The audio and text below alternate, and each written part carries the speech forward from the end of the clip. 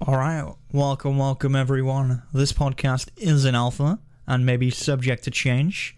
Joining me today is is Tef because because Zolt bailed on us last a moment. Very He sad. did. He failed on his last moments. Mm, Not a team player. not a team player at all. We, No synergy. no, just an alcohol problem.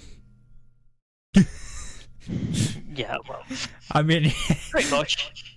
We Not were like, wrong. you still on for the podcast? And he was like, oh, I'm six cans deep. only got off work, you know, a couple of hours ago. Went to the shop, got a couple. Of, yeah, he's down them all. You know, he's just having a good time apparently. So here we are. But yeah, Just us. just us today. Not even Ziff. I've not seen Ziff in a while, but we'll see. Maybe we'll have him on next week. Who knows? But yeah, shall we get right into it? Should we? Should we talk about the video games that we have done played this week? Let's do that. Let's do that. What have you been playing? Well, um, I've not really played a lot. Personally, I've played Among Us. Played a lot of I've Among played Among Us. Oh, have you played Among Us as well, Tef? I've been playing a lot of Among Us. Oh, Mostly few.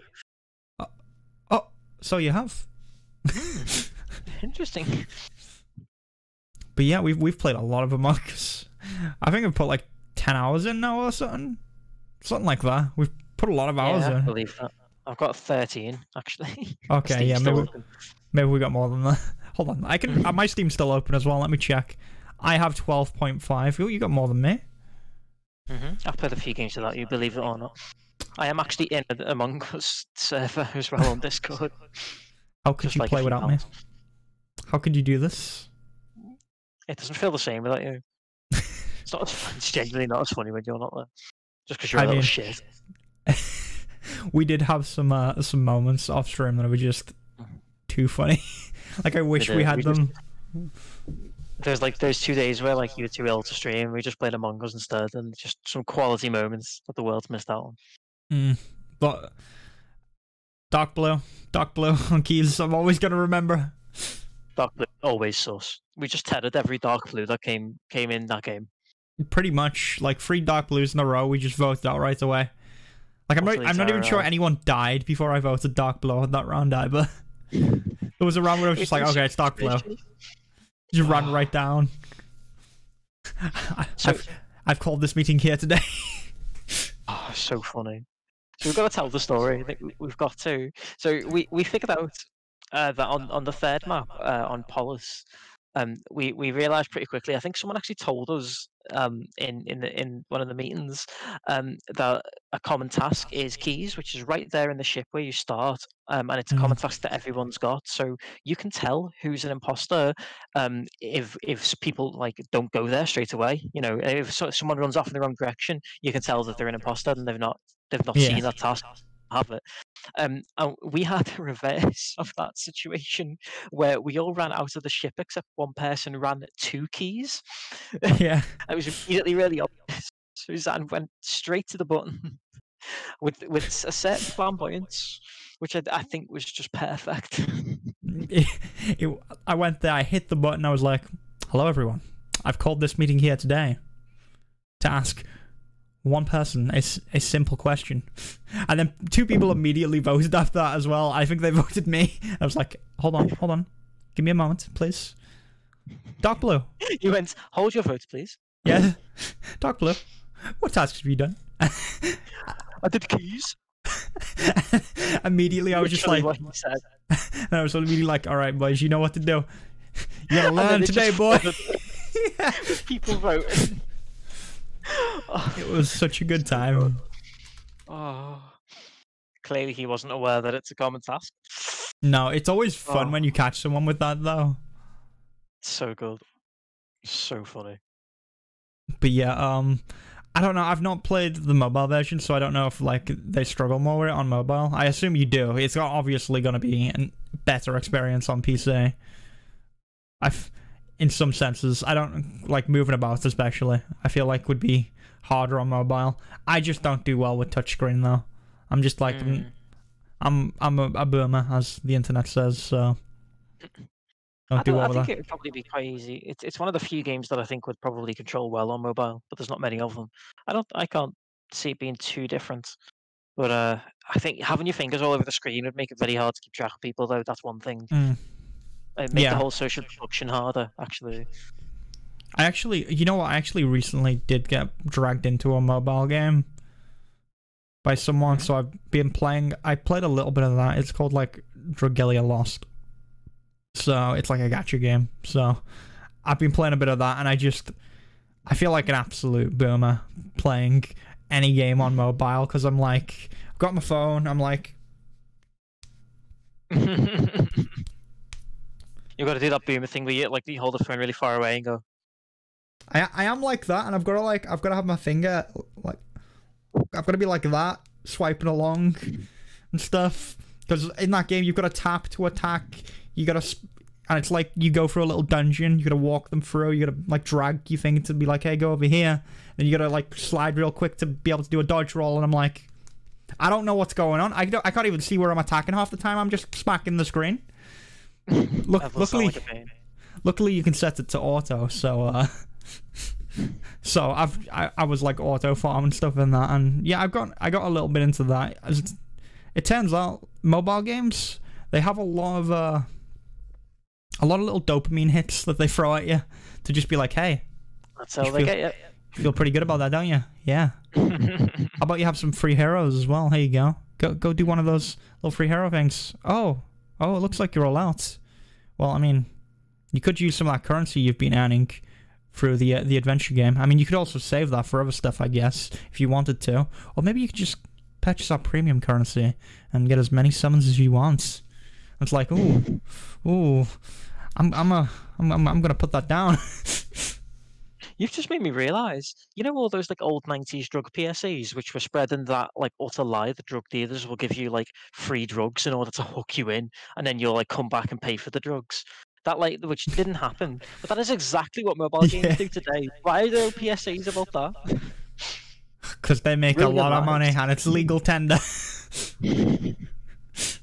Unlike drug dealers, I guess. I mean, hey, gacha games. Any game with anime girls apparently like makes a lot of money, but we'll talk about that later. We will, we will, indeed we will.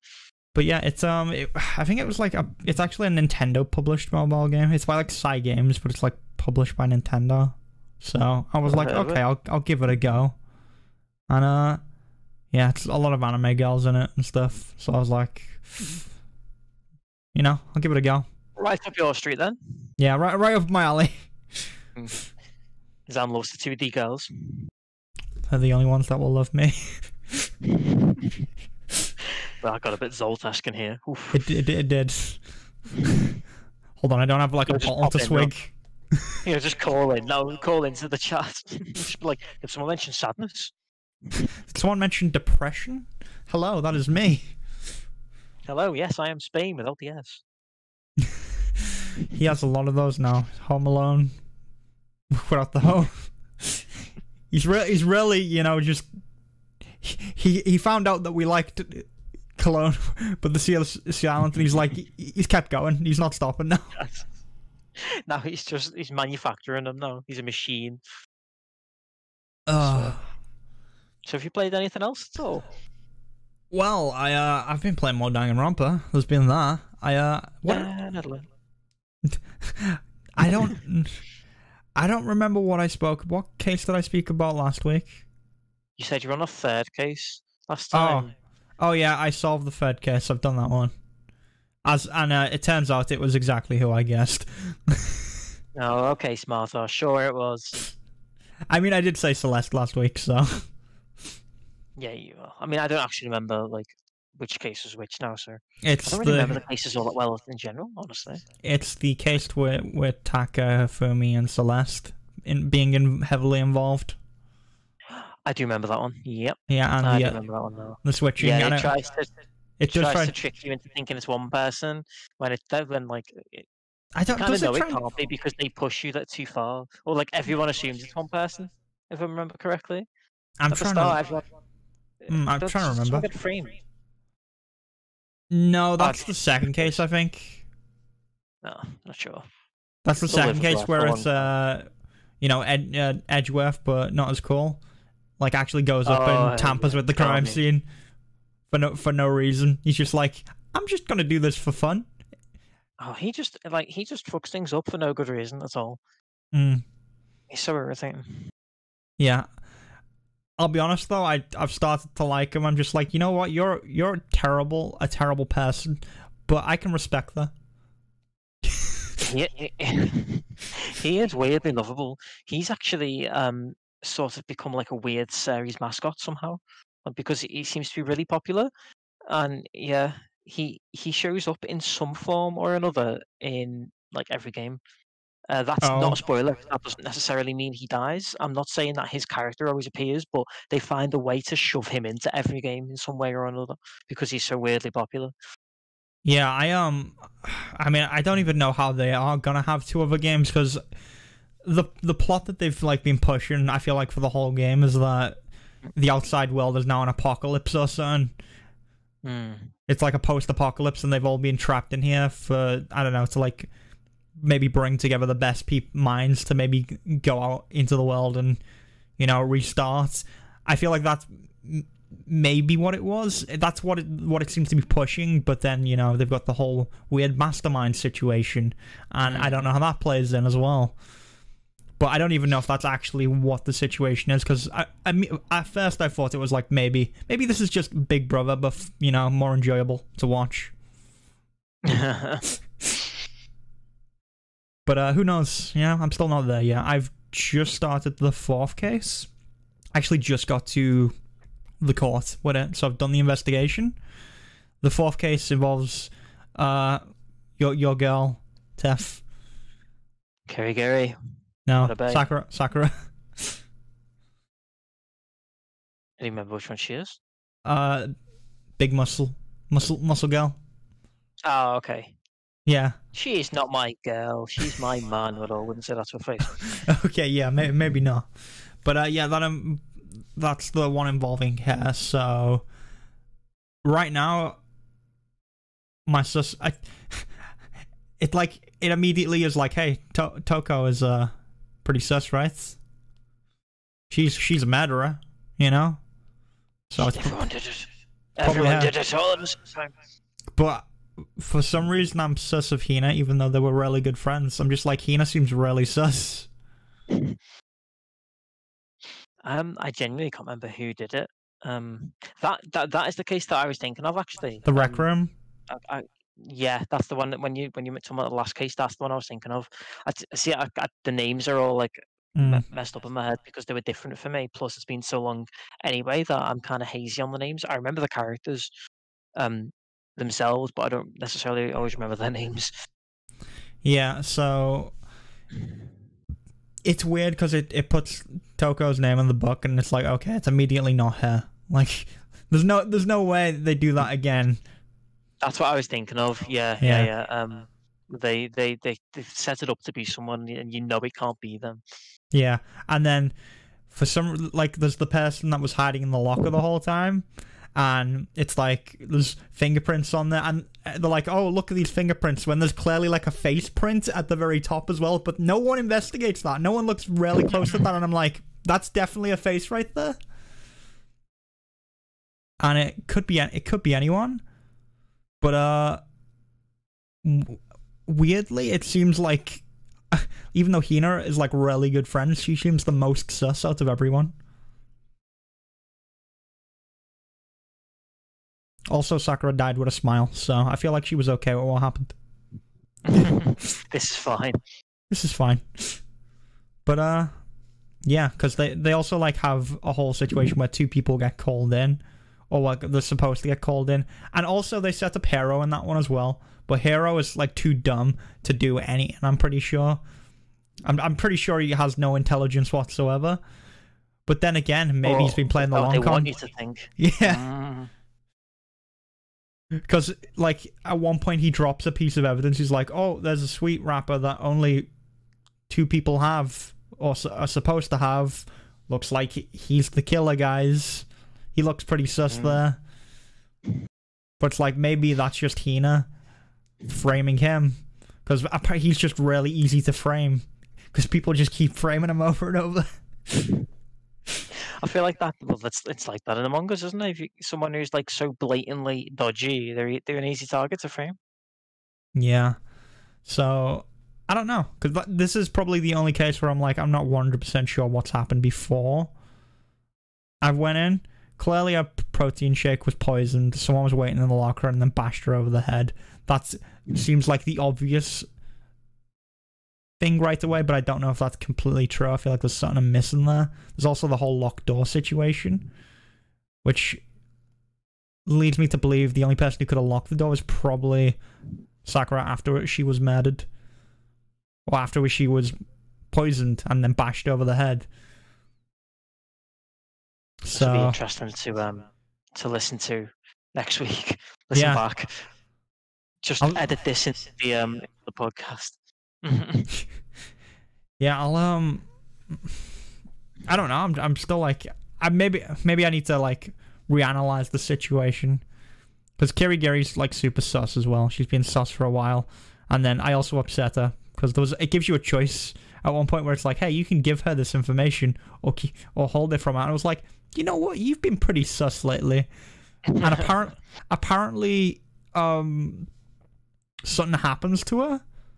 Like Monokuma does something to her, but they don't say what, which seems really weird. And I'm like, okay, well, I'm uh, you're really sus. I'm gonna I'm gonna withhold information from from you. And then when she finds out you're withholding information from you, she gets really mad at you and just won't talk to you. But then. Monokuma tells everyone anyway the next day. It's that there's, there's a spy because there's a spy among the group, and you you find out who it is. And then Monokuma's like, "Oh, by the way, this is the spy." Like a day later, anyway, so it doesn't matter, and you just upset her for no reason. it's like cool, One one of those classic you think you have a choice situations. yeah. I feel like I feel like much wouldn't have changed if I actually told her, but hey, who knows? Maybe that's a big effect on the ending. I don't know if there's multiple endings. Um no there isn't. I didn't think there would be. Did you just say the mad victim? Oh, I'm reading chat now. Sorry, that was instinct. Don't do it, don't speak to them. No, but like I, I do think the the murder victim was the one who locked the door instead of the murderer and let the murderer Sorry, go. English. Yeah, so I don't know. We'll find out. We'll find out next week. Tune in next week, and uh, I'll talk more about my Danganronpa ad- adventures because who knows? Who knows what happened? I've also realized we've not had this below. But uh, yeah. Tut, tut. Uh, Tef, how about yourself? Have you been playing anything else? Anything fun? Uh, I feel like I, I've been playing other games and I just can't think of what they are now. But um, I have been playing um Silent Hill 2 because I played that like every October. Um, it's just it's it's it's October season. Got to play Silent Hill. Um, so I've Fair been enough. playing through that. I'm just under halfway through. Like I'm at the hospital. Um, at like the, the boss in the hospital, which is like halfway through the hospital. So nearly at the halfway point of the game, really. It's so short, especially when you know what you're doing, you can really blast through it.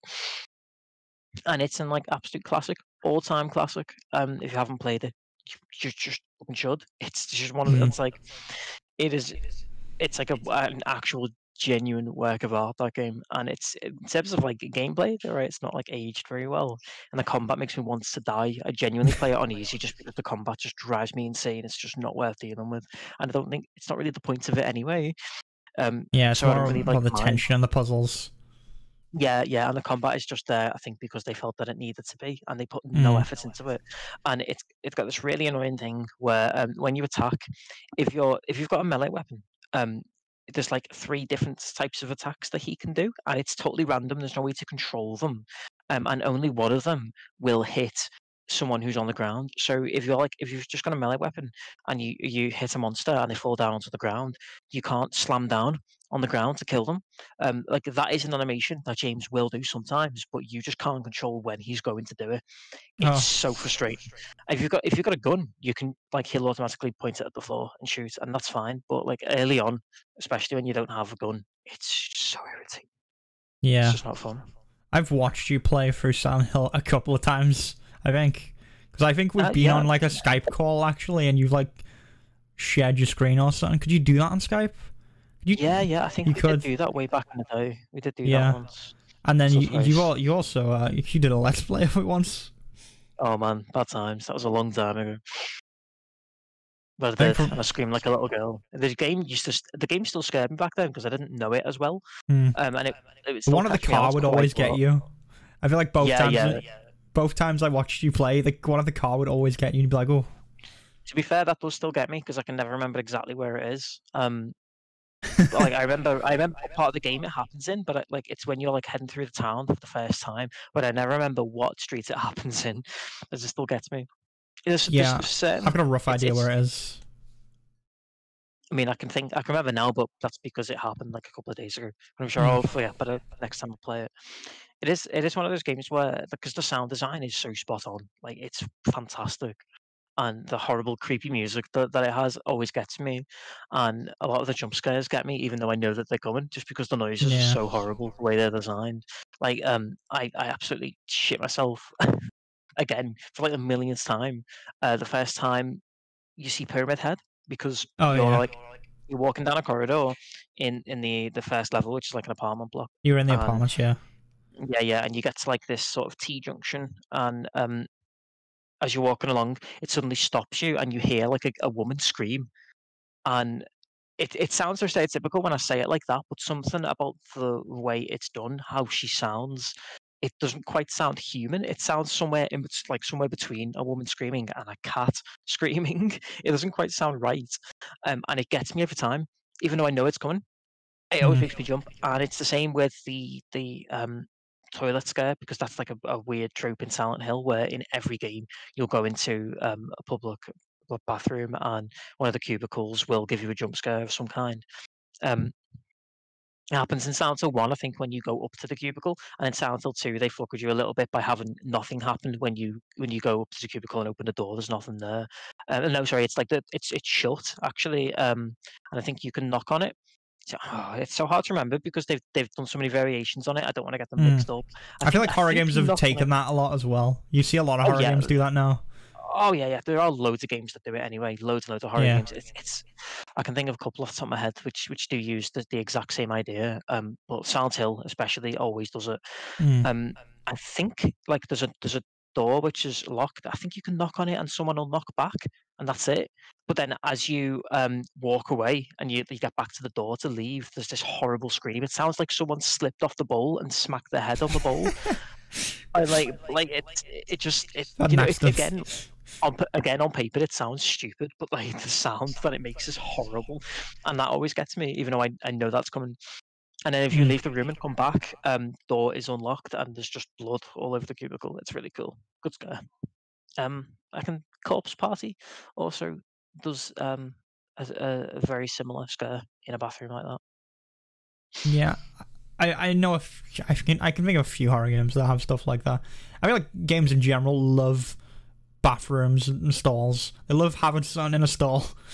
You know, you go along Yeah. and it's just zombie games, especially. You know, a zombie just pops out one of the stalls or something. Yeah, definitely. There's an um there's there's a bathroom in Spencer Mansion in Resident Evil One, which um I think it's it's really it's really nice uh, because because of what they've done with it. Like in the original game, uh, there's nothing in that bathroom. I think you can get some ammo in there, maybe a key item. I don't think so though. I literally think there's just ammo in there, and I'm that's trying to remember There's this nothing. bathroom. There's nothing else in there. It's really early on. Um, it's What side of the map is it? It's on the uh, it's the east wing. It's East on the other side of the dog corridor. So you know you go through the dog corridor, Yeah, and okay. then um, and then there's a kind of winding S bend corridor, and it's it's off that. oh, so it's like it's, uh, I, I think I know. I think I know where it is. Yeah. Yeah. So it's um, it's just like there's just a bath. It's not a public bathroom because obviously this is someone's house, so there's like a Mm. bath there, and then just around a little corner, um, there's a there's a toilet which you kind of can't see when you first come in. You have to go around a bend to get to it, um, and um, nothing happens in it in the original game, and they've played with that by putting zombies in it in like re-releases of the game. So like in the GameCube remake, um, you you can get a key item out of the bath. The bath's full, and it does the classic the classic thing where The um, it drain bath Yeah. be in there. Um, but They did that in the remaster, the EX HD remaster, right? Didn't they? The PC remaster, sorry, the one was on. I forgot what they called that one. Yeah, that's because that's a that's a port of the GameCube remake on PC. Yeah, didn't they? Imp- they improved it though visually though as well, didn't they? For that one, I think they called it something different in the Game Boy, in the GameCube one, not the Game Boy one. No, they didn't. No, it's just Did it's they? called Are we sure? No, yeah, it's it's literally it's a port of the GameCube game. They they spruced it up a little bit. They added a, a couple of little extra graphical effects. They redid some of the rooms. Mm. Um, but it's it's a port. It's just an enhanced port of the GameCube game. Um, but uh, it, it's game gameplay wise, that's the same. And besides that, there is also a actual port of the original Resi, not the remake. Like the support of the actual PS1 game to DS. Um, and they added then a, a ranged mode in that, which is like harder and has more zombies in it. And um, in that one when you go into the bathroom you know the way i mentioned there's a there's there's like a toilet around the corner that you can't quite see. There's a zombie which stands around the corner like in front of the toilet and uncharacteristically stays completely silent and doesn't move until you come around that corner and then it jumps at you. It's like they've put a jump scare in there and i like the way like that bathroom originally was actually like a safe area and they've they've added zombies in there later on and put jump scares in in a place where you aren't expecting it which is a nice touch. Yeah, I I think I rem I think I remember that actually. I I'm not like 100 percent because it's been a while. I said it's been a while. It's actually it's uh, yeah, it's been a couple of years since I played the first Resident Evil. I did play it not long ago. It was like like two and a half years ago now, which isn't that long ago, but you know, my memory's not the best. That old time's kicking in. I mean, it's I haven't played Resident Evil anyway. I wasn't. I don't know how we got here. What are we I talking mean, um, Silent Hill, Resident right, yeah, Evil, same difference, you know. about? That'll that'll upset people. I mean, they're both survival horrors, I guess. So, um, yeah. gameplay wise, they're not actually all that different at all, really. Um, they are. They they like Silent Hill clearly took a lot of inspiration from Resident Evil. Yeah. But even though it's got all those survival horror mechanics, they have different never really focuses. come into play. Yeah, Yeah. they have totally different focuses, obviously, because it's a completely different type of horror in Silent Hill. But like the survival horror stuff never comes into it. You get a stupid amount of ammo in Silent Hill all the time. I had like 150 pistol bullets at one point when I was playing Silent Hill, um, and I am actually playing it on normal. Um, for this playthrough, I don't usually. Um, I just messed up and picked normal, and I couldn't be bothered to reset. So I was like, I guess I'm playing on normal then, and I've got like 150 bullets, and it's it, it didn't combats. It's just there because I think they felt that it had to be there, but it really doesn't add anything at all. Gotta have those for the boss battles, really fun pyramid boss battles. Yeah, but where like you don't fight him, where you've just got to run away from them. well, I mean, there's areas where you like you get stuck there and you've just got to shoot them for a little bit or just wait it out. I'm pretty Mm. sure there's Yeah, those you- You don't situations. shoot him doesn't make a difference, but you have just got to escape. You've got to just run around and make sure you don't get hit for a while, and then he gets bored And- of fighting you and walks away. Yeah. But it, it's one of those situations where it's like, at first you don't know whether you're supposed to shoot them or not, so you just start shooting and you waste a bunch of ammo on them. Yeah, you do just unload on them the first time you play. Yeah. Yeah, I think that's like at the end of the apartments. There's one of those It is, yeah, situations. yeah, in that's there. right. Yeah. That's that's really cool uh, because like I, I was thinking about that when I was doing that that battle um a couple of days ago because it's not your typical boss battle in like a big wide boss arena. Like you're on the you're in a tiny cramped stairwell in an apartment block and there's barely any room to move and you've somehow got to got to avoid being struck by this massive demon with this huge knife and it's only the fact that his wind up is stupidly slow um, that you can get past him and you can get around him because he stands still obviously to start winding up his attack which gives you Mm. loads of time to move but there really isn't much space at all um, you've kind of got to stand in each opposite corner and bring him right over to the extreme end of the room and then run over to the other extreme end of the room um, because if you if you don't do that you, there just won't be enough space to, to be Mhm. safe from him because you're in such a small confined space and it's that's I know, that's just very ungame like to, to have it designed that way but very Yeah. Silent Hill I don't know how I felt about those boss battles. It felt like not super interesting to me personally, but hey, I guess because I just knew it was like, hey, wait out the timer. It was one of those situations. Yeah, I think it's just meant to really freak you out the first time. It's obviously never going to be as effective after you've Mm. played for the first. But the first time you are stuck in that tiny room with him, it is horrifying, and you don't know how to deal with him, and you don't know Yeah. that he's going to leave after a certain amount of time. So Yeah, there's no yeah, countdown. I think, I think I think it works. Um, and, it- and it's a nice touch that when when the um the siren starts going and he does leave, uh, he starts walking towards the stairwell and goes down the flooded stairwell. If you're in the way, he'll take like one last pot shot at you as he's leaving, which is a nice touch.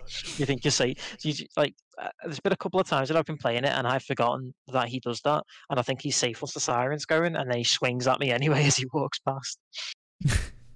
Just a little cheeky swing before he Cheeky gets swing. off. There's massive kitchen knife for some reason. Yeah, what is like what is this blade? It is massive. I think it's literally called the Great Knife, and I'm pretty sure it's genuinely just a giant kitchen knife. Yeah, he came. T- he uh, got put in Dead by Daylight as well, didn't he? he did. We we had. did I remember we uh we spoke about that. I don't know how long ago that was, but um, because I remember the Konami account tweeted out some like really vague Silent Hill stuff, and everyone was like, Yeah, oh, "New that's Silent. Hill, new Silent Hill," and then and they were like, "No, no, it's just to promote the Dead by Daylight character." Oh yeah, that was a mess. Oh, They just. cock. It, ugh, it's just I hate the way they just wheel out Silent Hill to make a quick buck these days, and that's all it's for. Do you remember the um the Pachinko game, the Silent Hill Two Pachinko Yeah. game? That's There's its one for legacy now. Castlevania as well. Ugh. It makes me sad. Like you you know, like it's a shame because Konami has so many IPs that I really like, and they're all just getting dragged through the mud. There's nothing we can do about it. It's just a sad time. Metal Gear, Castlevania, Silent Hill. Ooh, they're like the big three at least that I can think of. Yes. Uh, Mega Man as well, famously doesn't get much love these days. It gets more than it used to, to be fair. Well, I mean, Capcom. Capcom wouldn't even acknowledge its existence, actually. So it's not too bad these days. But They, they did actually. They did actually make a new Mega Man game at least recently. In recent years. Yeah, yeah. I mean, yeah, they they they, they did pay more attention, but it was a bit of a meme for a while, wasn't it? How much they used Yeah. to ignore Mega Man. I mean, Capcom for a while have like they've been making their comeback. They've been hitting us with those Resident Evil games to be like, "Hey, guys, Devil May Cry Five, boom, enjoy." By the way, everyone, go play Devil May Cry Five. Don't do it. Don't do it. no, I'm just, oh, I might go play Devil May Cry Five again. That'll be what I talk about next week because Devil May Cry Five is a great game that everyone should play. Highly recommend. Just don't like that kind of game. Sure, it's great if you're into it, to be fair, but it's not for me. If you were in, if you were into the like combat kind of stuff, you you definitely love those games. They're like, oh, Oh yeah, no, I know I would. so Um, I think that's all I've played. I, I'm sure I've played other games, but on mine it's just going blank. They are definitely.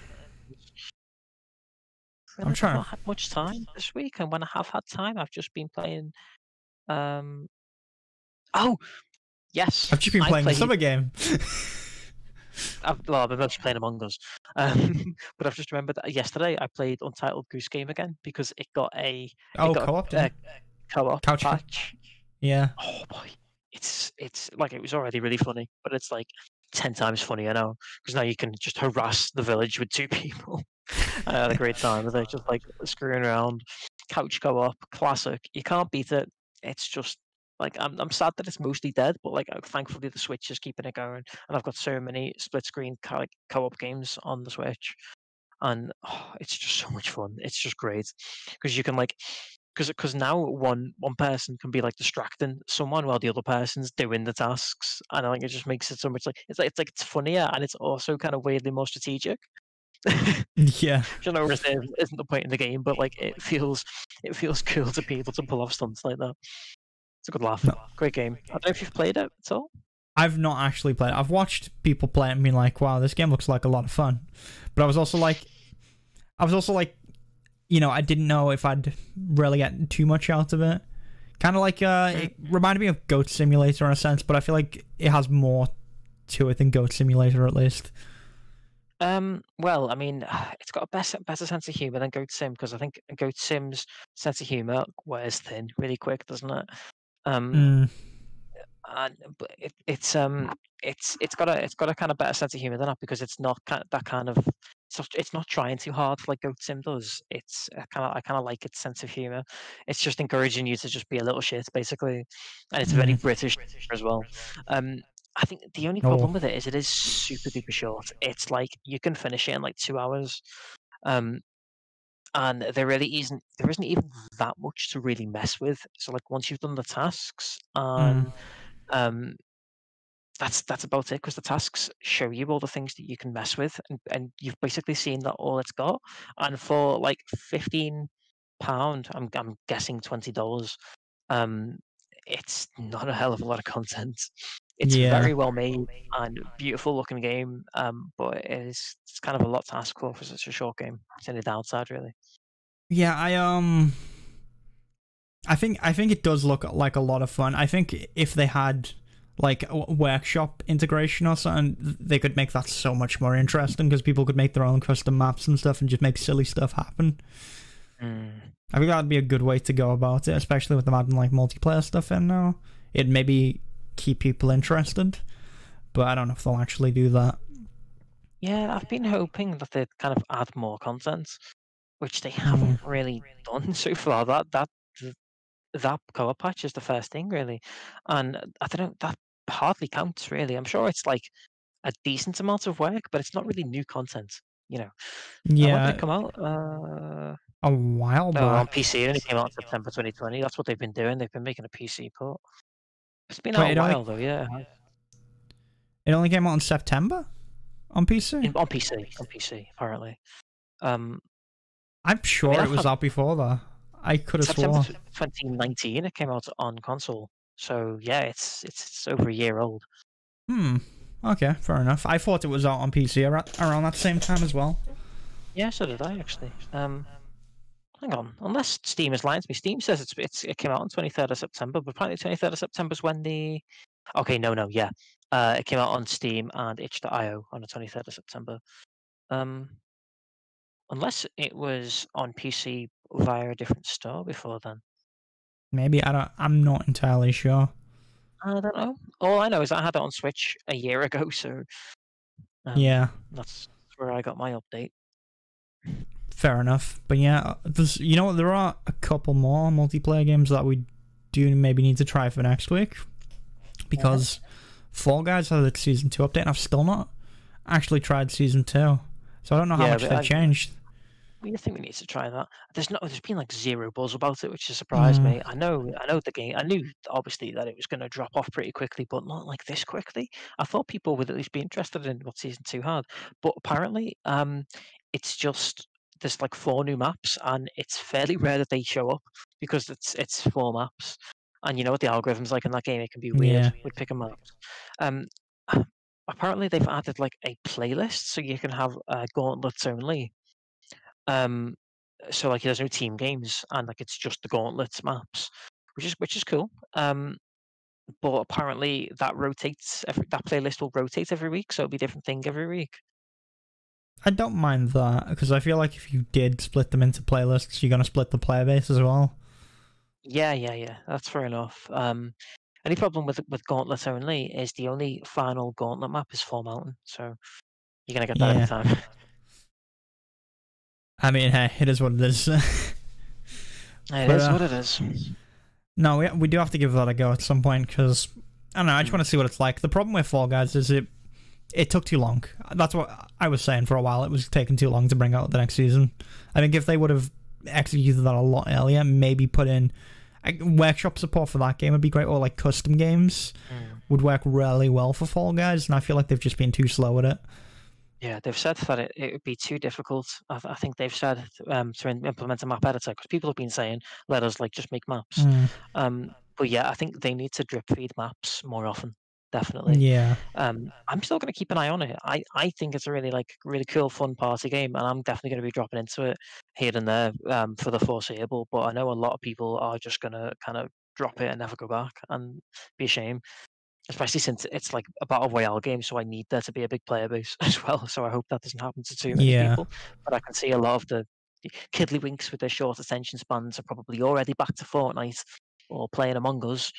I mean, it's, it was like fla- a flavor of the week type of game, wasn't it? So we've went from that to Among Us, and now the big one is Phasmophobia, which everyone's playing Mm. now. Which it, it it looks like it's a fun game if you're really into role playing. I say that just because I know I'm not gonna get scared if I play that game. I'm, like if I if I like whenever I do like get scared, it's kind of just like you know you play it up to make people laugh, you know? Like not even for like stream. definitely do as well. Like I don't even do that for stream. Like I'll do that just when hanging out with people. I do that just because it's funny. But uh yeah, I don't know. I I've looked at that game and I'm like I kind of feel I kind of feel like I'd want to play it, but also I'm like I'm not sure. I don't know. I feel like that's another that's another game that's gonna drop off very quickly as well. Yeah, it doesn't really interest me, honestly. Um, Mm. It's not that it looks bad. It's just it doesn't look like quite enough for me to want to play it. Um, I probably wouldn't have played Among Us um, if it wasn't so cheap. Yeah. Um I it it gives me like I don't know, like really early access Unity sort of oh, it definitely Game. has that vibe. Yeah. like a Oh, just every single locate- creepypasta game. like Yeah. all the Slenderman games over the years. It's just that, isn't it? It's too similar to that sort of thing. I'm, I'm a little bit jaded now, but like, okay, I've seen that before. Um, Mm. yeah.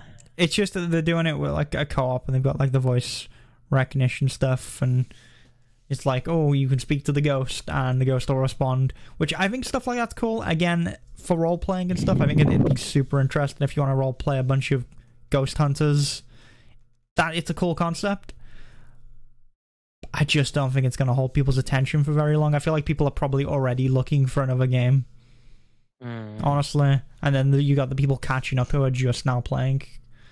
Because I've also noticed um, there's a game called Party Animals that recently released a demo on Steam that I think I've seen a few people play. Essentially, it, ring a bell. essentially it's gang beasts but with weapons. And so if you remember gang beasts, I do Again. Gang Beasts. So, so many games have knocked off Gang Beasts since it came out.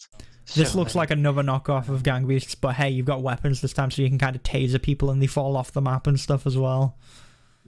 yeah, or you I can see it. bonk them with a hammer. Uh, yeah, that's very much got the same kind of idea. Yeah. Yeah. Sure, it's fun. Um, We could give that a go because it's a free demo, so I'm down. yeah, true. We could. I, I'm sure it will be fun. Games, games like that are always fun. Um, Gang Beasts is well, it's kind of managed to somehow become unfun as time has gone on. But like, it's a great idea. It's the, I think the thing is that they they're always just fun for a few games, and then you've kind of that's it. Then you know. It's one of those Um, party games you just pull out every now and then. You're like, let's Yeah, exactly. Yeah, yeah. let's just have a game of Gang Beasts. Hmm? I mean, it's a free demo, so Yeah, that's why I suggested it. I'm like, hey, you know, we can give it a try at some some points. But yeah, it's Gang mm-hmm. Be- Gang Beasts but fairies. But I'm pretty sure you could dress up as a chicken and stuff in Gang Beasts anyway. that's hard. That's so hard. Someone wants to clip that out of context. Utter silence.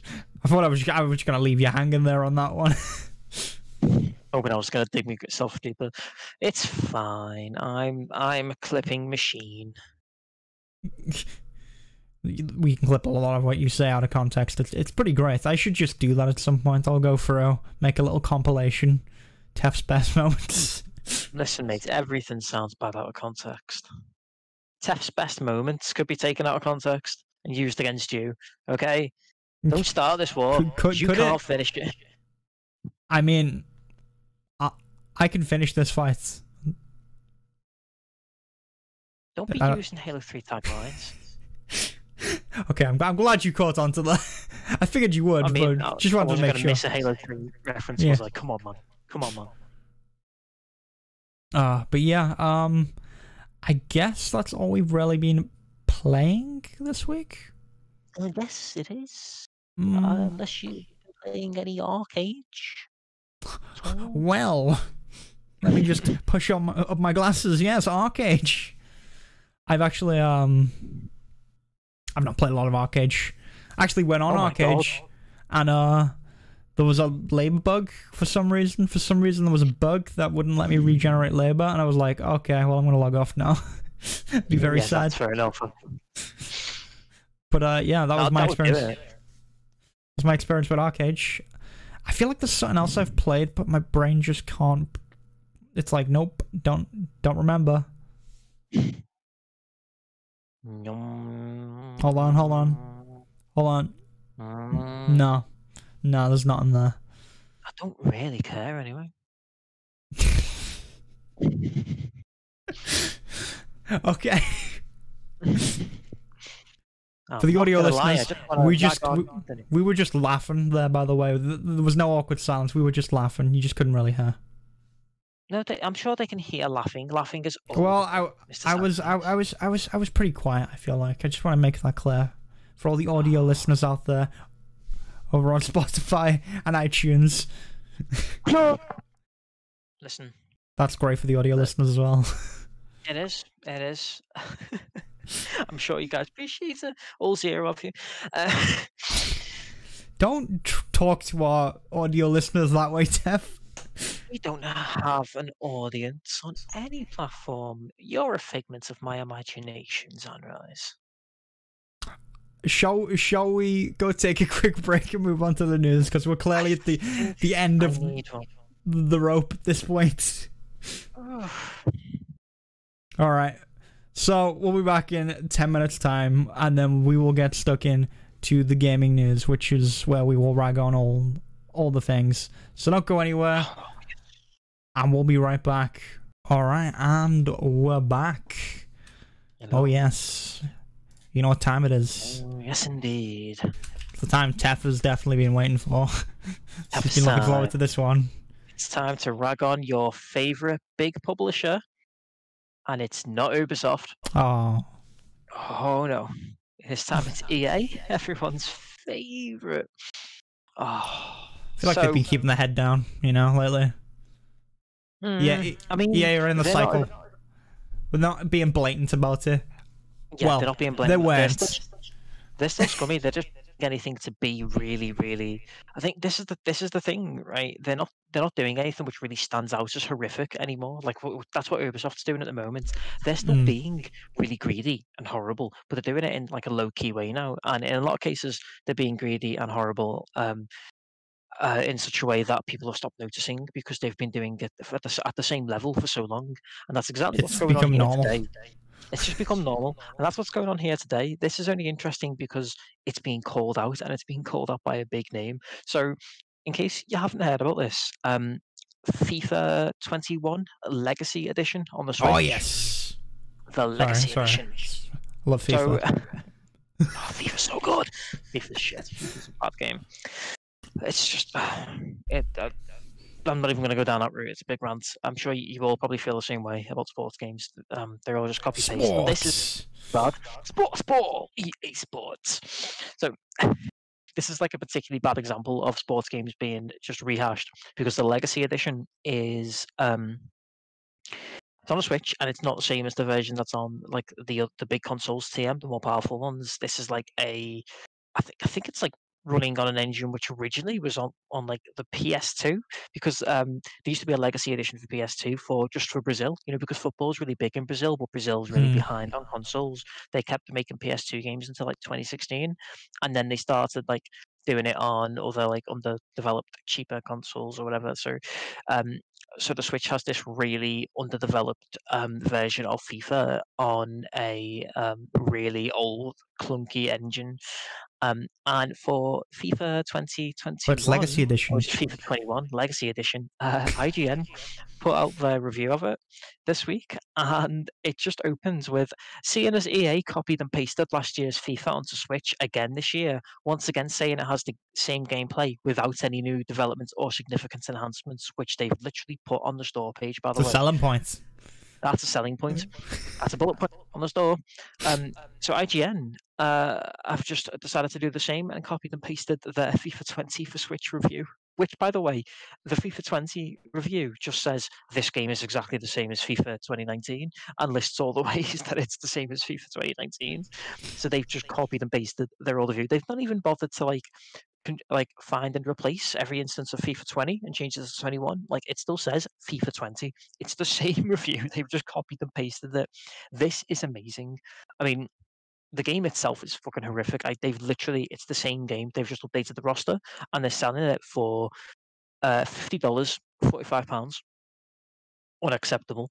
But like, my god, the balls on IGN. It's oh, it's so good. And I didn't expect this from IGN, of all people, because they usually just suck it up to all these big publishers. But like, oh, I'm I'm so glad someone's called them out. And it's beautiful. It's so good. I love how they've done it. It's got class. It's got class. I, f- I feel like someone had to call it out. It's like, come on, like, like EA. I mean- there's no way EA is like, yeah, we'll get away with this. no one on earth. But as bad as it is, it's not that different from what the main FIFA series does anyway. Yeah, because they they make very very small changes year to year. Um, it is mostly a roster update with a couple of little changes. Um, this is just worse because it's literally the same game with a roster Mm. update. Um, but but they have grass physics anyway, really. in the in the new updated Ooh. FIFAs. So the grass, the blades of grass as they wave. Oh, that's what you need, isn't it? That's so important to the strategy of football. it's just um i think it's it's really interesting it's i mean obviously the fact that the game is just a blatant um grab at your money is is interesting in its own right but that's typical ea i'm They're not even trying to hide especially it. interested by yeah but that's that's ea though they don't, this is what i mean they don't try and hide it anymore people are so used to it that people don't even get angry anymore it's just there it's, It's what they it's the fact that it was a sell. yeah, it was like a, on the the store page, like, hey, this is the same game as last year. Enjoy. Yeah, they they they're not they're not even they, they literally aren't hiding it. They are making it a selling point. Let's let's look it up. Hang on. So FIFA 21 Switch eShop. Let's uh, let's get the store page up. Legacy Edition FIFA 21. Uh, Oh, do you read? Do you read it off for me, please? FIFA gameplay. FIFA 21 Legacy Edition will feature the same gameplay innovation from FIFA 20 without any Innovation. new development or significant enhancements. Do, do they know It what the word the, actually the word innova- innovation means? actually says that. Um, it'll, it'll, it'll also feature some of the world's most famous stadiums, including some brand new to FIFA 21. Gameplay features and modes will have parity with FIFA 20 on Nintendo Switch. parity meaning it's exactly the same. Why did why would they be stadiums? Oh. That's not, that's just not Oh, true. I'm surprised they never used the word iconic in there as well. I feel like they love throwing iconic in there. Be like some. I, they should have been like iconic stadiums. That would have been a bigger selling point. the way they, they write it, they write it in such a way so that it draws attention to the fact that it's the same as FIFA 20. It's almost like they Yeah. don't want people to buy it. It's really weird. Like, so there's there's also like a list of bullet points for the legacy modes. Um, because for some reason they don't just call it the modes that the game has. It's legacy modes. These are the games. These are the game modes that are available in the legacy edition, which is again is drawing attention to the fact that it's an old, outdated, crappy version of the game. It's like they don't want you to buy it. And then, but then it goes, the following game modes will be included in FIFA 21 with the same features from FIFA 20. Do, do you want me to buy the game or not? I don't understand. What if this is like a massive big brain play, as the kids say, from EA, and they're putting this out there so no one buys it, and then they go, now we don't have to put games on Switch, guys. like we we don't have to spend money on that. But I feel mean, like they'd make they'd make money off porting games over anyway. But you know what? This is I don't know. There's something going on. Maybe maybe uh, Bowser had a big disagreement with e- who's the CEO of EA? What's his name? Mr. EA. I forgot his name. Mr. EA? Yeah, uh, Andrew Bow- Wilson is apparently called. I did not know that. Yeah. They had a disagreement over Twitter or something. Bowser wasn't very happy, and they were like, "All right, you know what? You're getting the same FIFA you got last year. Then I want to make sure people know. That'll spite you." Maybe. Ah. Maybe. I feel like EA could have just stopped making games though. Um, if they wanted to, they could have just stopped making it on the Switch because they don't make really any games for the Switch anyway. EA, like this is one of the few examples where they do. Um, I mean, it's not I'm hard entirely to make why. it for the Switch. If you just port it over, copy I mean, paste a few assets. PS2 game. Yeah. Yeah, like it's it's not even like the new game. It's like an like an like I was saying earlier. It's an old engine. Um, Yeah. But I don't understand why Legacy Edition is on there. Like when they were doing that Legacy Edition for the PS2, it made sense for the Brazilian markets. Um, but Brazil, no one in Brazil owns a Switch. Switches are, despite being underpowered, they're still expensive. And in Brazil, this is for like um, the Eastern market. They're like, hey, you guys don't really keep up with football, do you? Here, have the Legacy Edition, so you can. I don't know. I don't know what the logic is here. I really don't know. I don't understand it. it. Everything about this is so strange. Why does this game exist? Who is playing it? I'm Who still plays it. FIFA? I mean, a lot of people still play FIFA. FIFA's I huge. I don't. I don't. I don't understand it. I don't know why people buy it every year. I don't get it. Get your ultimate team trading cards, but build get, get make your own custom Chuck Norris character. Throw him in your team. Have a good time. Kick kick, kick a ball around. The ball goes over one side, and then uh, then it gets kicked back over the other side. Oh, that that was al- he almost went in. Didn't go in. Okay, now he's gonna kick the ball out into the middle again. It's in the middle again. Oh, oh, it's going over that. side. Oh, he scored. Oh, oh, he's one up. Hey, you just you're just being a bit cringe, you know. You're just being a bit Sorry. balls bally. I mean, Sorry. that's basically what league is like. Nothing wrong As- with football. I'm not a huge fan myself, but there's nothing wrong with it. And there's nothing wrong with FIFA. FIFA can be fun. I've played FIFA with mates and had a But good it's the same I game just don't see why you year. got to buy it every year. Why have you got to buy it every year? I've I've got I have got FIFA Road to World Cup 1998 on PS1. It's still a good game. Why can't you just play that? it's not all that different at all from FIFA 21. They just, uh, it's the same thing every year. And uh, do, do they still do Ultimate Team? Is that a thing still in the games? Of course, they still do Uh, Ultimate Team. It makes them a stupid amount of money. They would That's- definitely. I think Ultimate Team is the main reason it's still going and still I've- so popular. I thought in some countries that would be like they would have gotten rid of that now because of laws. I mean, it probably doesn't exist in Belgium. But Yeah. everywhere else still cool. This sort of thing. Well, I mean, you know, it just that's the main thing that upsets me about FIFA: the fact that they're selling the same game and then people buy into it and then they buy the Ultimate Team every year. It's, the same with all EA stuff, though. Like people shouldn't be supporting any of EA's games, and yet they do because EA's got that gotcha dopamine hit sort of thing going on where people who people fall for it, and they just they just don't think about whether they're even enjoying themselves properly anymore or whether it's just a hmm. dopamine hit.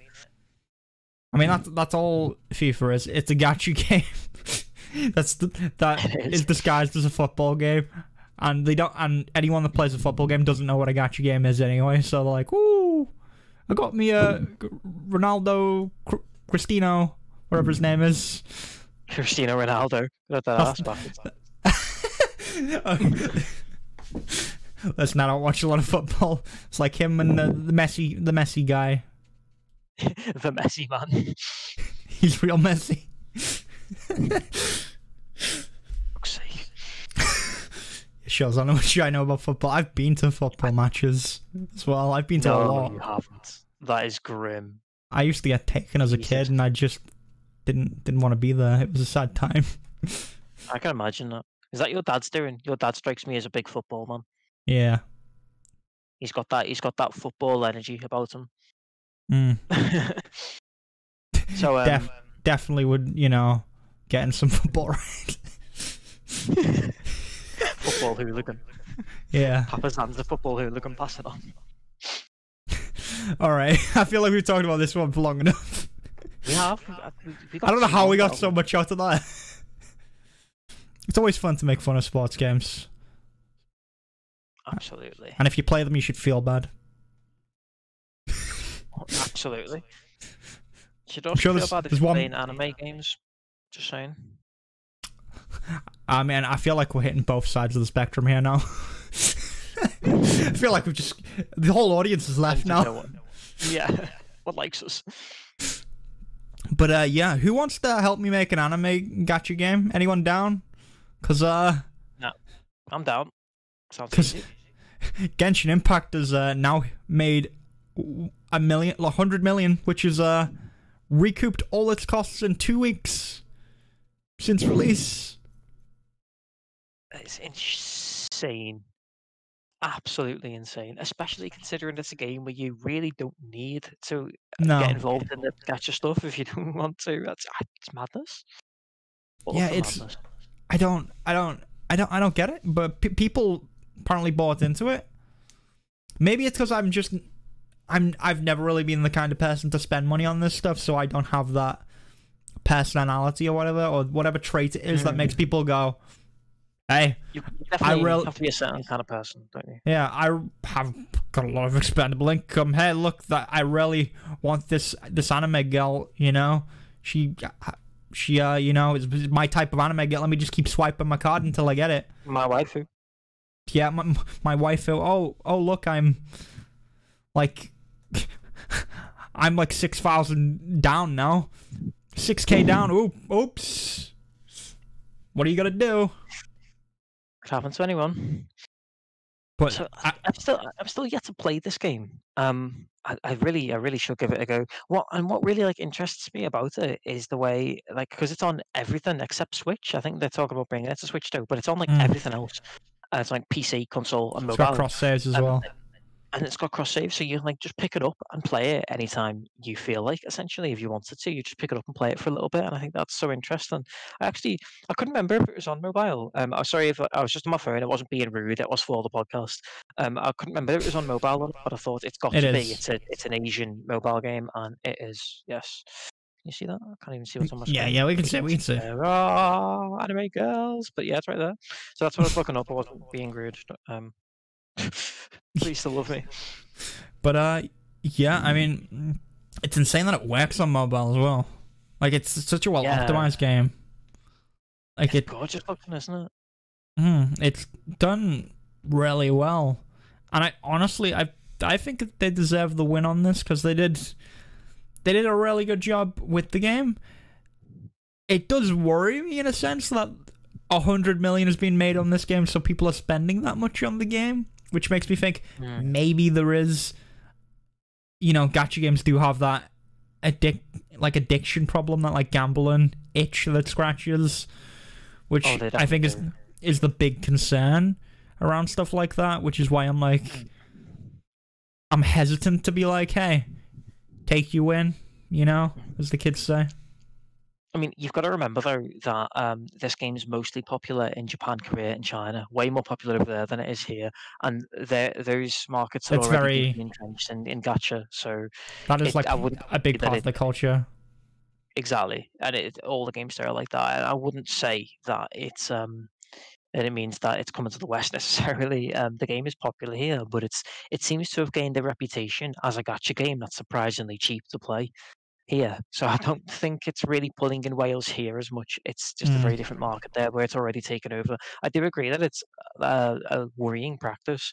Uh, to have as like a mainstream practice um, in gaming, like it is in Asia, that's bad for Asia. That's bad for their market, in my opinion Yeah. but I don't think it's here, so I think we're probably cool. And I think it's great. Yeah, I think it a is.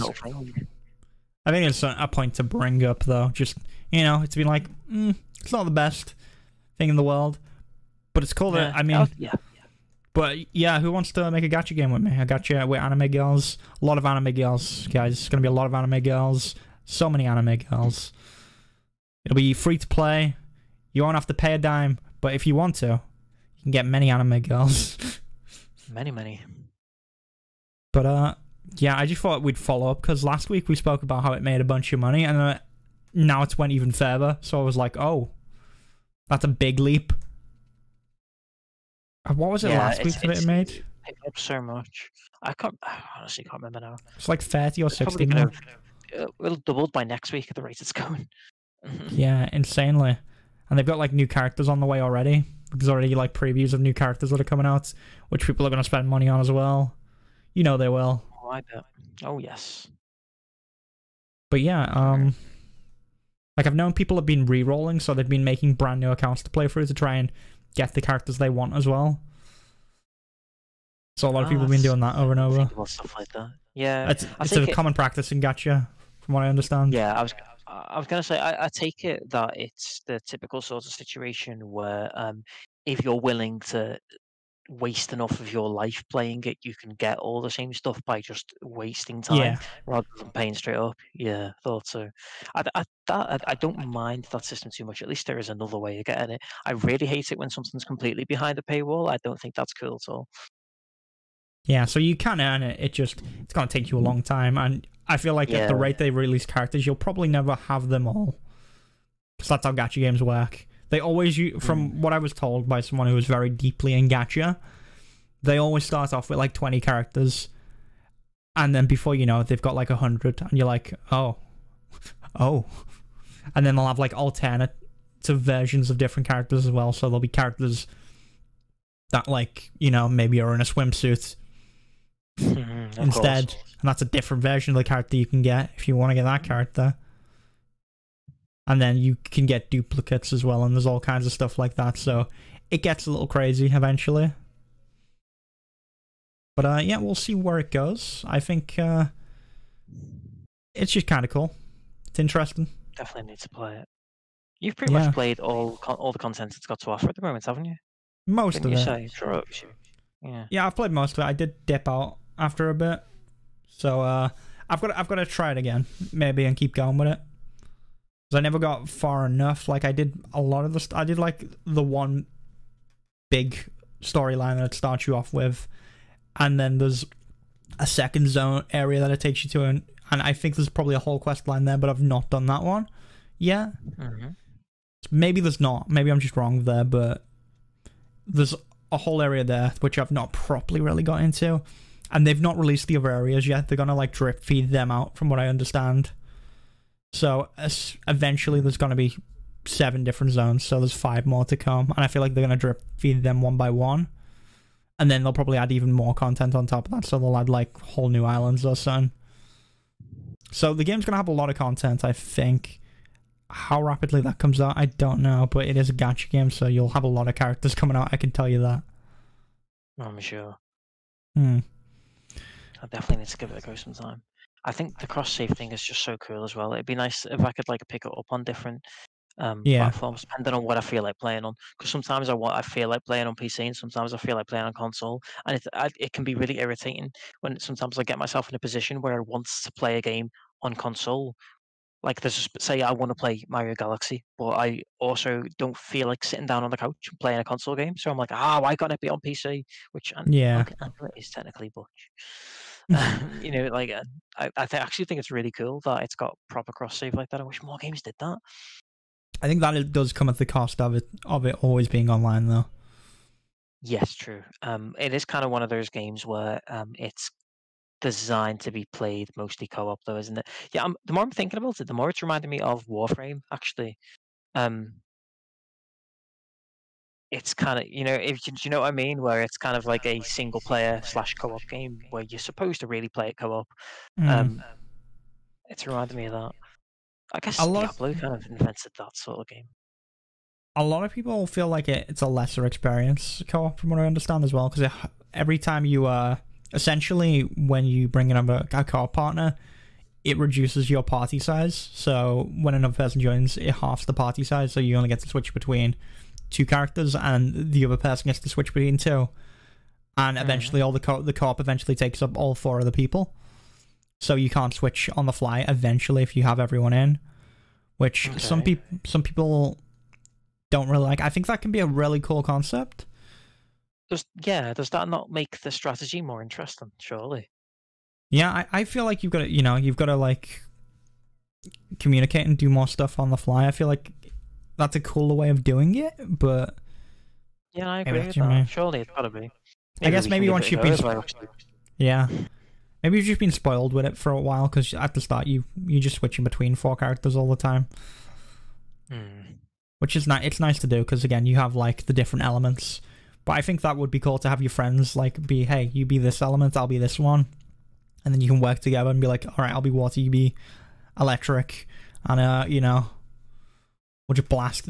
We'll like work together, and then the other half of the party can be like, I don't know, ice and flame or so, I don't know, whatever else works together, and make stuff happen with that. Yeah, oh, God, I, I, I want to play it. Everyone just keeps saying it's Breath of the Wild, so I'm like, Breath of, the, Breath of the what now? I love Breath of the Wild. I mean, I'll it's it just for it's it's very inspired by Breath of the Wild. Again, it doesn't oh, do oh, you it. can tell it's from the. It doesn't do it as well, obviously, but it for a free game, it's it's really good. But uh, yeah, that is that is it. So if you want to make an anime girl game, please do send your uh, email and your uh, all your money over to zanrise at gmail.com. You go ahead and do that. And yeah, that's it for that story. But should we talk a little bit about about Microstop? Microstop. Yeah, so uh, this passed me by. I'm glad that you dropped this into the news because I didn't see this, and this is this is interesting. Um, Hmm. never It's a- anything like this before. It's a bit of a big one as well, isn't it? Yeah, it is. So, um, if if it passed you by like it did with me, um, Microsoft have gone into a partnership with GameStop, um, to uh, bring more Microsoft stuff into um into the- into GameStop, and I don't just mean like they're going to be pushing Xboxes more. Like they're going to get uh, Surface notebooks and access to loads of Microsoft tools, and um, basically they're they're more or less converting GameStops into Microsoft stores in the same way we have Apple stores. Um, that's kind of the way they're going with this. It's really interesting. It's really thrown GameStop a bone um, because God Yeah. knows they need it. Um, I've never seen anything like it before, though. it's it's a little weird as well because there's gonna be that like there's like that conflict of interest when you have other parties wanting to sell their games there as well and it's Mhm. it Oh, makes you think like sony are like yeah we want we'll sell our games here and the GameStop's like no we're a microsoft store go make your own store i don't know if that i don't think that'll be the case but it but it but it feels it feels weird doesn't it No, but it, there is definitely going to be a bias in those shops Yeah. on, isn't there? Like uh, it, can, they can't not be, um, and that that is that is strange. That's definitely strange. Um, they're clearly going to push um Xbox stuff. I feel like anything that's multi-platform, they're going to push the Xbox copies more than the PlayStation copies or the Switch copies or the PC copies or whatever. So Yeah, Um, I, f- I feel like they might they'll probably stock them still, but they'll do it. They'll like maybe arrange displays in a certain way that yes, Microsoft stuff is very prevalent, and you'll maybe see that first, and maybe it'll be like a, all right, guys, this is this is how our stores need to be arranged. But then they're also talking like, Mm. I'm also imagining it being like an Apple. An Apple store, but it's gonna be like a tacky Apple store where you got the GameStop employee that comes up and is like, "Hey, what you looking at? Spotty teenagers like you want a Series X? Would you like our game GameStop card?"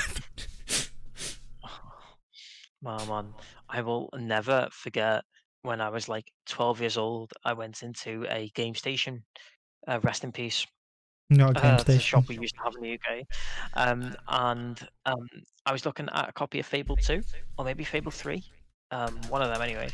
Um, and I was I was kind of looking at it, and obviously I was like interested in it. I knew what Fable was. I played Fable 1 and Fable 2 if the game was Fable 3. but I definitely I knew the series. Um, and I was kind of just looking at the box, and you know, do that thing you do when you're a kid, you just stare at it longingly, like, well, Mm. I wish I had a source of income so I could earn this.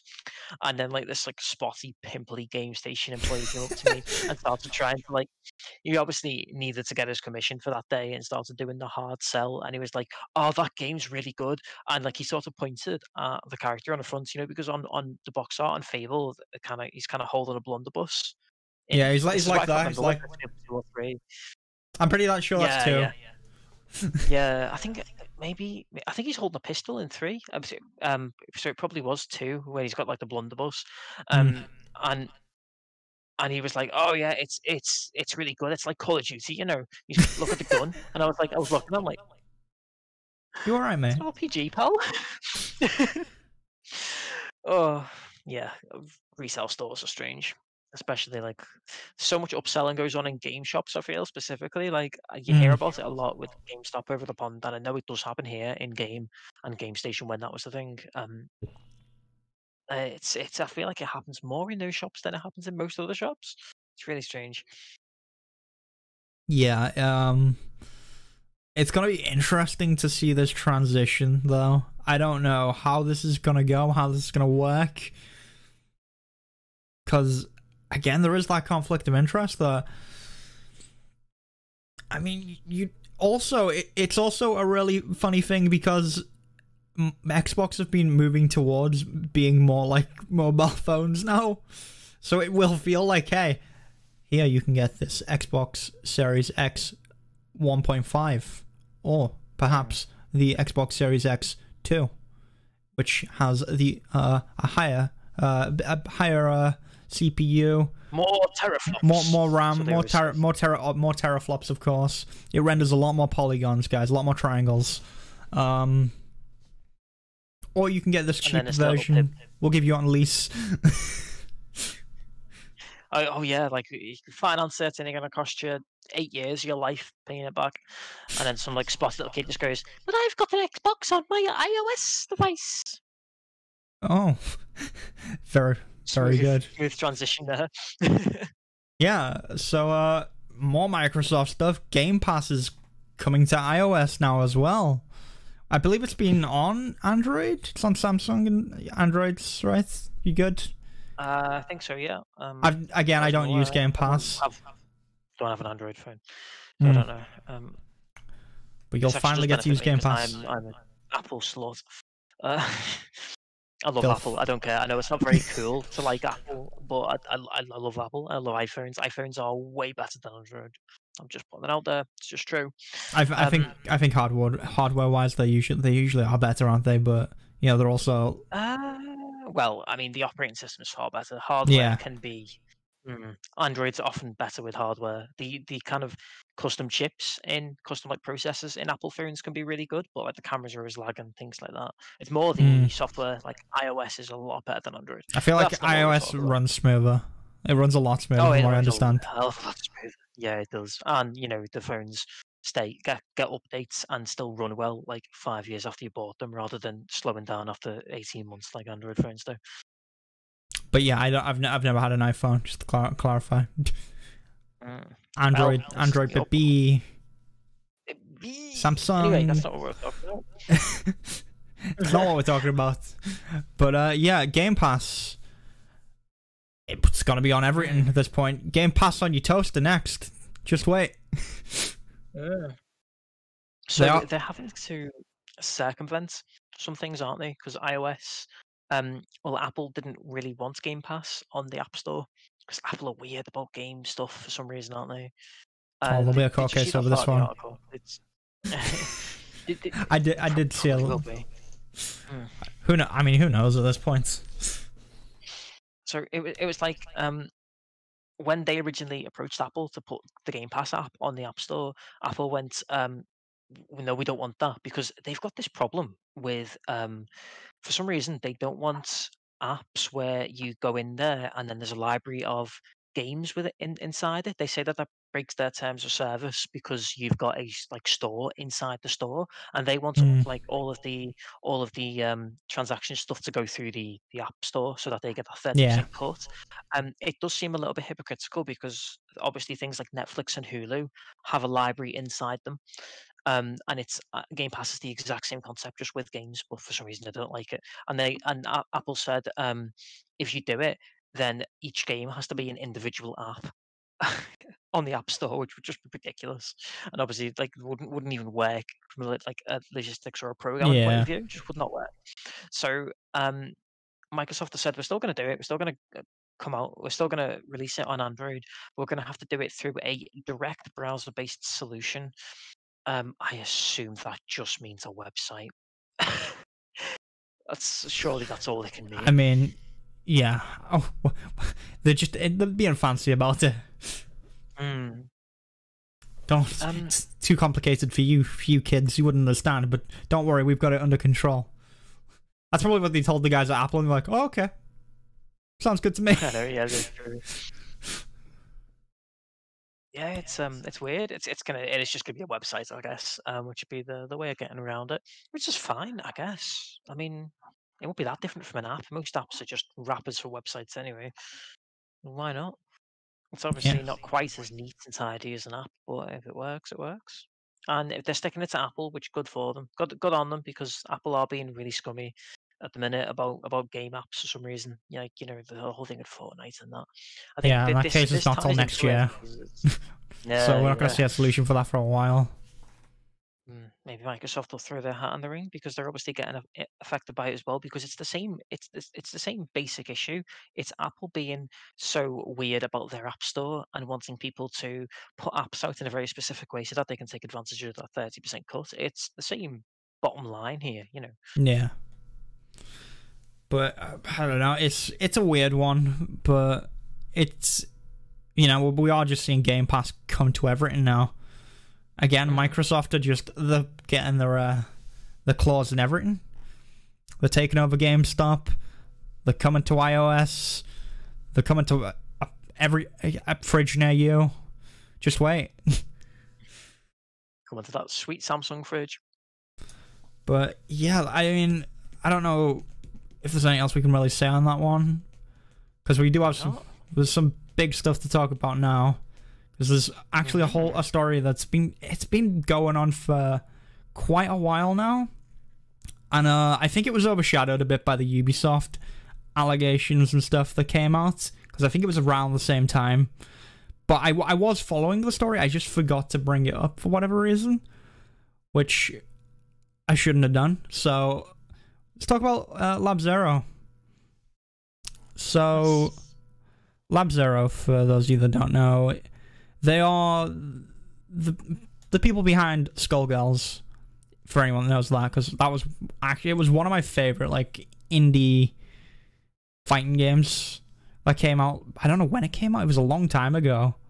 Yeah, it was a couple of years back, but it was big, wasn't it, when it came out? It was mm. it was everywhere. A lot of buzz around it, certainly. It, it was a really fun fighting game, but unfortunately, it's kind of all fallen apart after after a bunch of employees resigned because the studio head had a bunch of abuse and inappropriate behavior allegations towards them. So it was, I believe, it's Mike, Mike Z goes by, isn't it? Yeah, I forgot his full name, right. but my, think, yeah, Mike Zaimont, he's called. Zaimont. Yeah, Mike Z. But yeah, um, Zaimont actually, I'm not sure. So yeah, because of the studio head, apparently it was just very abusive, a lot of inappropriate behavior, stuff like this, and it caused a lot of people to resign. There was a lot of allegations. We're not really sure what's happening, and I, one of the games they've been working on recently, Indivisible, I think it's called. They yes. had to just straight up stop supporting it. They can't do much with it now either. They've just decided I think they've said they're just not supporting anymore, are they?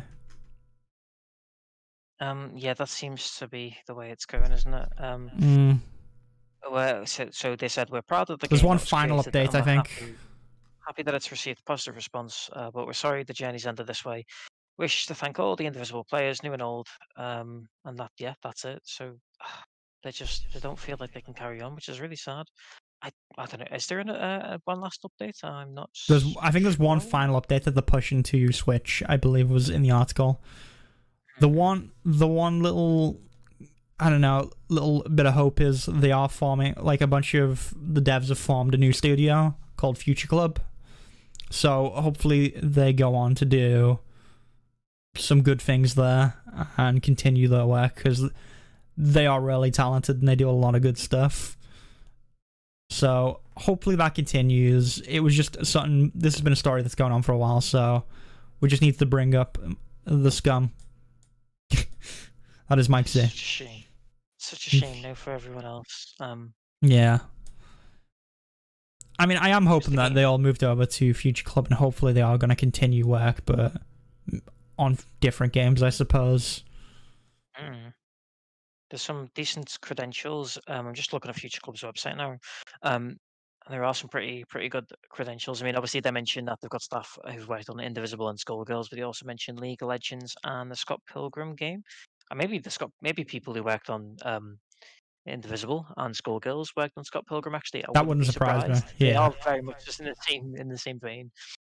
They they do really specialize in that like hand drawn 2D animation stuff, and it looks really good in all the games they they do it in.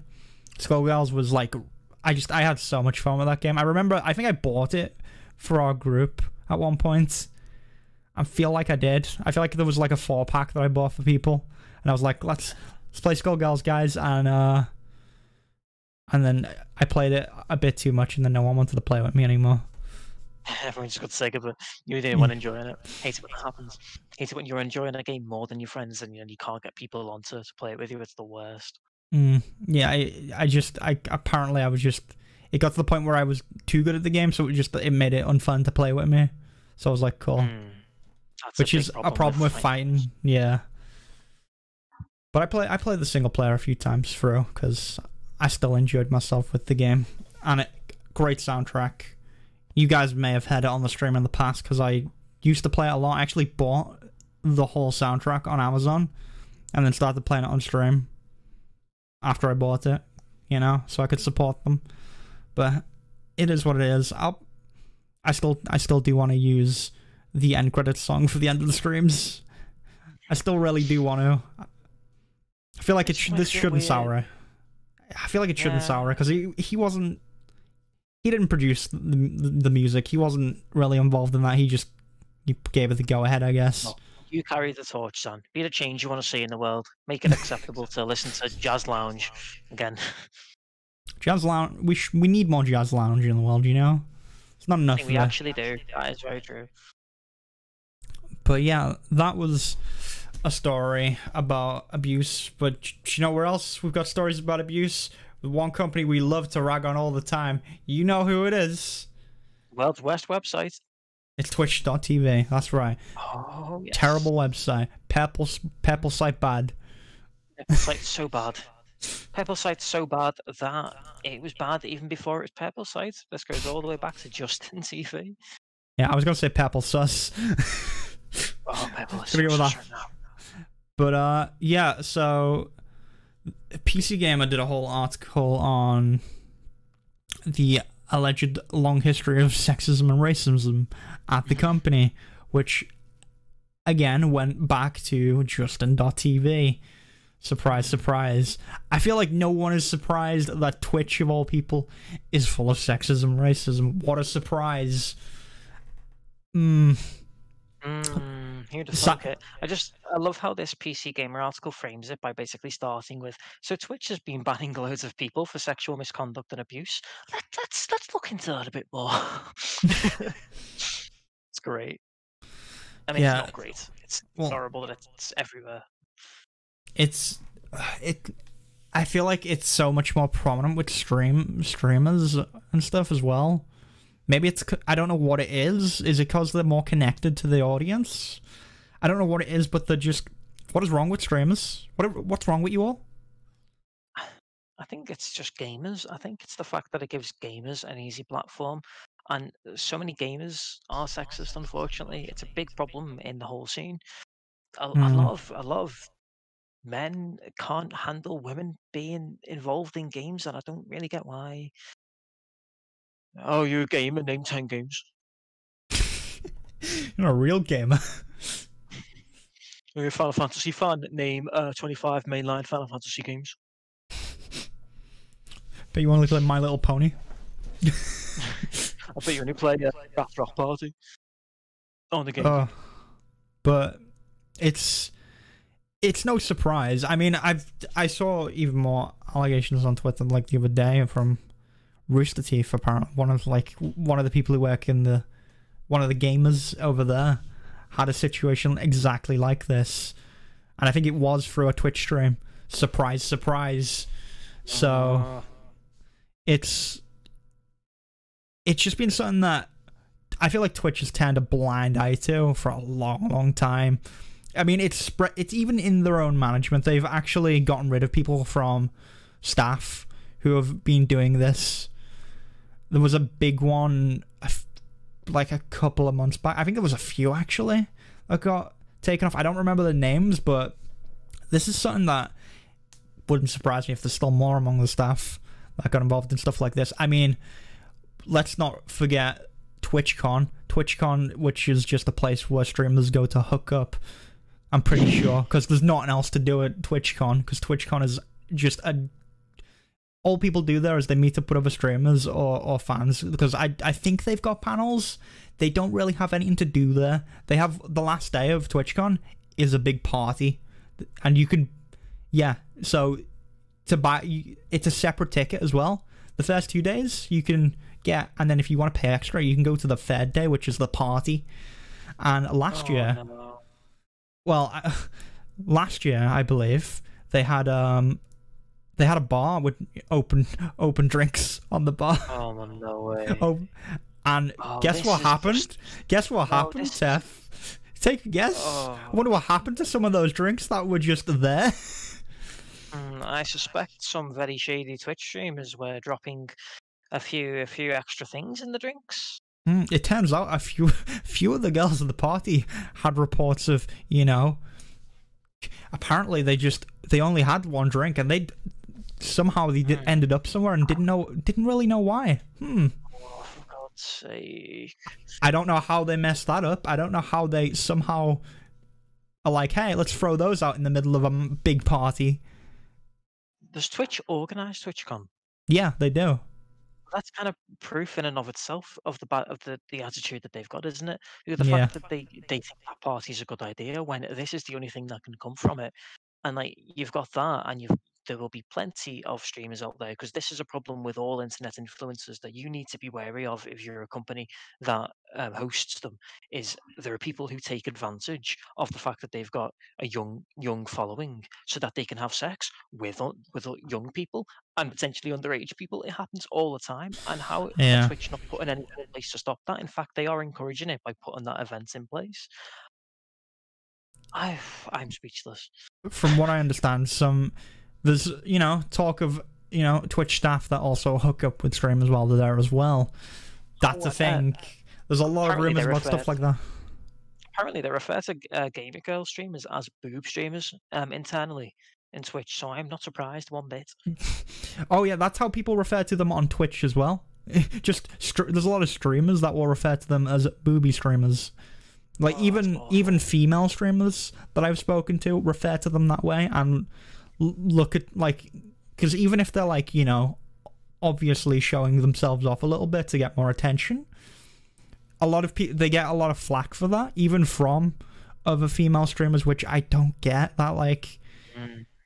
I feel like there should be some mutual respect there because you're both the s- you're the same gender on the platform. You should maybe be trying to help each other out here. You know, when it's it's a tough territory to be in as it is. I feel like the problem with Twitch is the main the main way people grow on Twitch is they do it by taking advantage of other streams and other streamers and Mm. it I don't know if this is an odd way of phrasing it, but I feel like especially in small streams, they tend to go in to other small streams, build themselves up in that community, and then move them over to their stream. And that's a big strategy. Or they'll like donate or sub and like get that streamer's attention and be like, like be like, hey, we're friends now. Friends, you know. I feel like I've seen that a lot on Twitch. There's a lot of people who talk about stuff like that. Are, are you telling me, son, that I could start a Twitch account tomorrow and just be like, "Hey guys, you know me from Zanrise. Uh, do you want to come hang out?" Interesting. You could, you could potentially do that. You know, if- I mean, but that's that's that's how Twitch works. I feel like essentially a lot of people just take advantage of people, and that's how they build up. And surprise, surprise, apparently it happens at parties as well. Apparently, they just continue that behavior in real life as well. I just, it's Twitch bad. I don't know how else, so. I don't know how else to put it. The the party thing that they did last year was just done. They have this party every year, by the way. They do this all the time. This is just like a main event thing. It's- I, I think this has been going on since like I mean there's always pa- events of parties you know but it, there's like exclusive events that different companies run when there's events going on usually I mean, yeah. I mean, I, I think a party is one thing. The way you're framing it, you're making it sound like there's an exclusive uh, after. It's essentially after the con because Yeah. it's its own ticket. Uh, there's a separate piss up. is how you're framing it, which is not normal for a convention if that's how it's done. It's part it's of the literally convention. just a It's party. it's day three. Day three is the the drink the drink time. It's not really day three though. That's what I'm saying. But you, you pay like- you pay for the ticket. You pay day three. You pay for day three Yeah. though, Tef. But if, if it's separate, but if it's a separate ticket from day one and two, then it's not part of the convention. You're paying to go to like a, a piss up afterwards, Hmm. and that's like uh, I don't know. That's just that feels really weird. So, how this is like the reasoning a lot of people go to this is because the parties are good for networking. That's the whole reason Mm. people go to TwitchCon, networking or or hooking up essentially. From what I from what I hear through you know Well- through the grapevine. But my understanding, and uh, to be fair, I've never been to anything like this, so maybe I'm wrong. But my my understanding is usually at these uh, professional conventions, which are designed for marketing, they'll Hmm. have some drinks and. Uh, They might have them sort of in the evening later on, or they might have them throughout the day. But they don't sort of have a very uh, like a specific. This is going to be a party day because that sounds like they're kind of encouraging people to get really drunk, which is weird. It's not the point of it because it's not one of those parties. Yeah. If it's a real networking party, they might have an open bar. A lot of them do, but they, they are not really meant to get drunk because you would make a show of yourself in front of professionals. So Uh, the way you're describing it, this doesn't sound like it's supposed to be a professional get together at all. This sounds like a piss up, which is a different thing entirely, and is encouraging roofies. so Yeah, I would. I don't know. I'd love to talk to someone that actually has been to a TwitchCon, but this is my understanding from what I've seen. Like they do, they have like how it works is they have like a an area for partners, and then all the peasants get the rest of the convention to themselves. I don't know if they have like I don't even know if they have a lot of game devs come in for it and show off games and stuff like you would at a normal convention. I don't know what they do at TwitchCon. Someone needs to tell me, give me a reason to like why why why do I go to TwitchCon? Why would I care? The other TwitchCon they were actually going to do, they were going to do a, Eu- a uh, TwitchCon in Europe. Can you guess where in, in Europe they were going to do the the other TwitchCon? I don't need to because I'm on a website right now. Of Okay. course, it's in Amsterdam. Yeah. Which hmm, I wonder why that is. Party capital of Europe. Hmm. It's, It's almost like they just. It's almost like they just want a party. Yeah, I I don't I don't get it. It's this is just a massive issue with Twitch and Twitch culture in general. And this is something they've built up. A lot of streamers have built up their audience off sexism or something along those lines. And they've like they've gotten to the point now where they're like, oh, okay, this is wrong. Let's start like culling these people and getting them away from our, um, our group.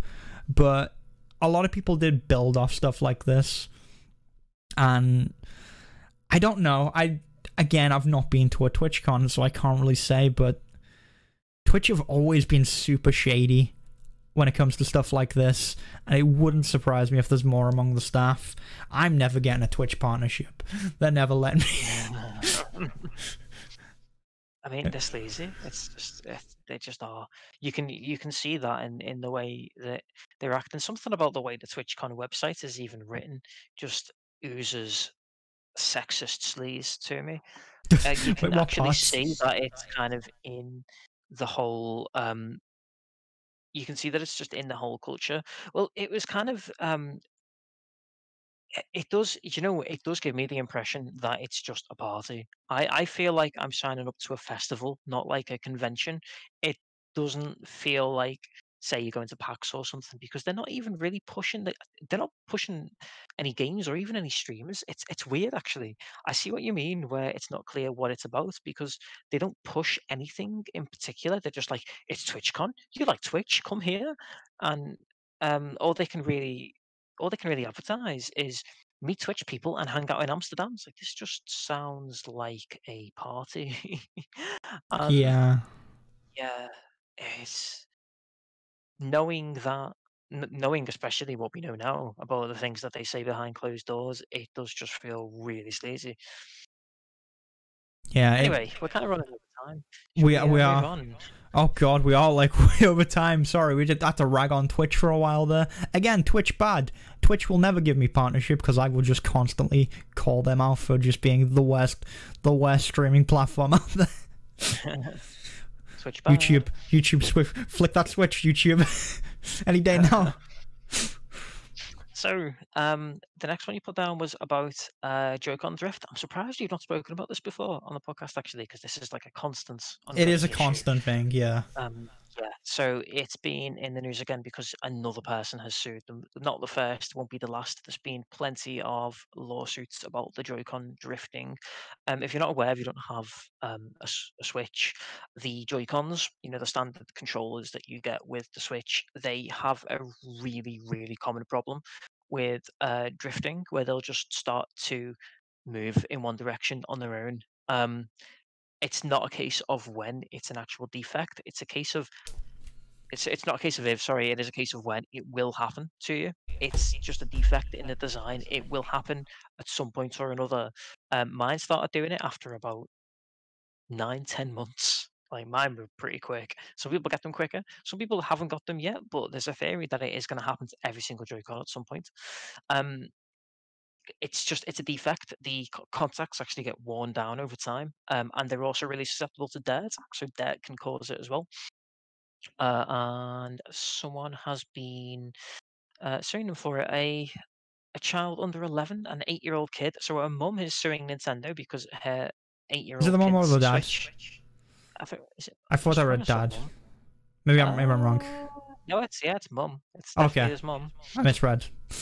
Uh, Yeah, so um, I mean that's that's not the first time. Um, did we mention that Fr- France has been? I don't, I don't think I have mentioned this to you actually. I don't but it know. was I in don't know if I we probably should have mentioned this on a podcast because this was in the news a couple of weeks ago. Um, the French government have been looking into it because under French law, um, it's an intentional defect as far as um, Oh. French law is concerned. Because um, because you know obviously when they released the Switch the first time um, with the standard Switch, it, it was a problem and everyone was aware of it. Um, they then went and made the Switch Lite and didn't fix the problem. And under French law, if you're aware of the problem and don't fix it in a revision, it's now intentional because you knew about it and made a decision to not fix it. And I mean, I'm with the French for one. For once, Yeah. I'm with the French. And it's Uh-huh. very rare. Us British people, we don't usually agree the French. But uh, like, yeah, they, they are spot on, and I think that's especially true with the Switch Lite because you can't replace the Joy Cons on a Switch Lite, so it's it's so much more important. And they still didn't fix the problem. Um, my mine did do it. Um, mine got dirt in them. To be fair, I wasn't storing my controllers very well. Um, for a short while, I was keeping them in a very dusty location, and I think dust got to them um pretty easily. I I don't I haven't mentioned this to you, but I actually um I did take apart my Joy-Con. Well, You clean. I actually apart, saw. I think you to. tweeted out that you cleaned it.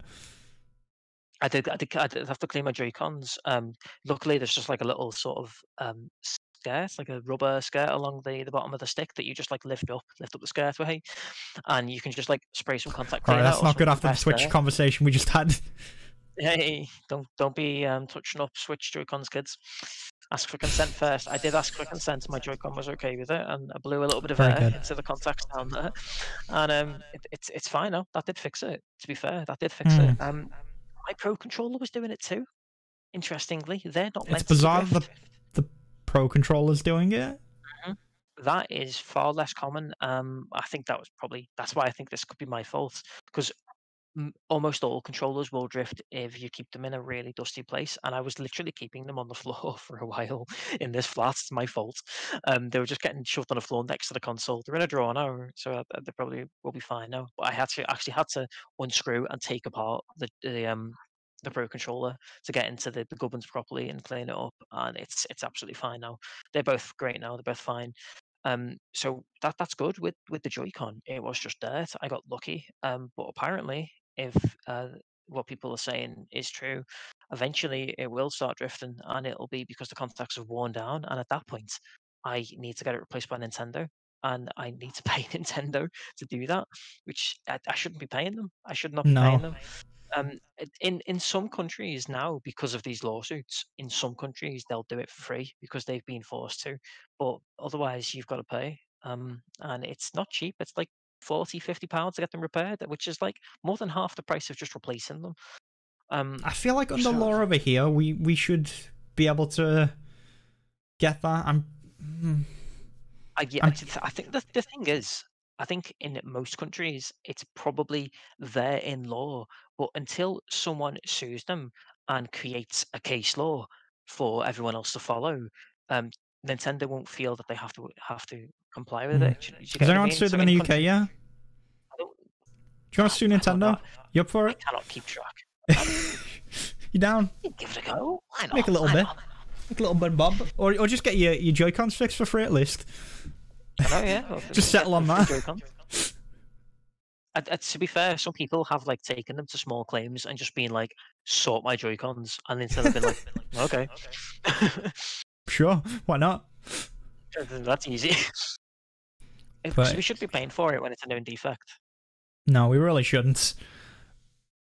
But uh I mean, we'll see what happens. You know, maybe eventually everywhere it will be free or you know, maybe they'll just fix it. They'll probably have a new console by the time by the time they're like, "Oh yeah, we fixed it." Probably will. They'll um they, they won't do it unless they, they really get forced to. It's so anti-consumer, but that's classic Nintendo, really, isn't it? Mm, it's a shame because Nintendo do a lot of good stuff as well.